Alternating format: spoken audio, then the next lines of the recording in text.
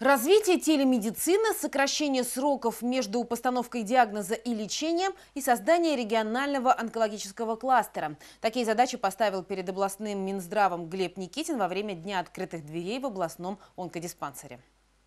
Все пациенты Нижегородской области у нас распределяются по четырем регистратурам в соответствии с местом их проживания. У нас рассчитана поликлиника на 500 посещений в течение дня. Такая регистратура нам позволяет а, оформить первичную медицинскую документацию, затратив минимальное количество времени.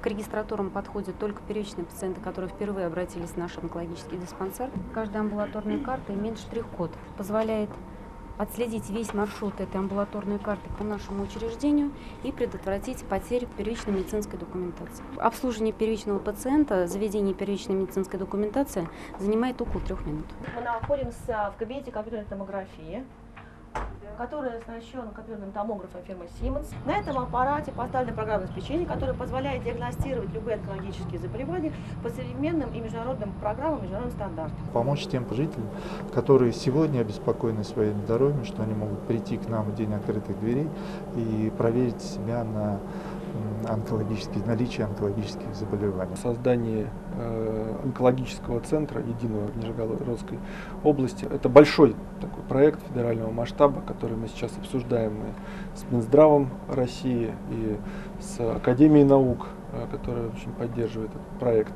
И э, также подключили корпорацию Росатом, которая э, может часть э, блоков этого большого проекта также взять на себя.